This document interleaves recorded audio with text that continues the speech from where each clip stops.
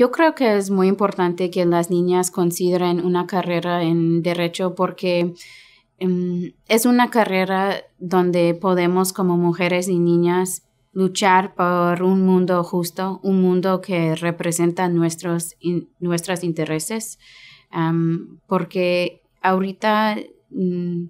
no somos representadas en la forma que es adecuada y necesitamos que nuestras voces y experiencias estén consideradas en este foro y estos ámbitos.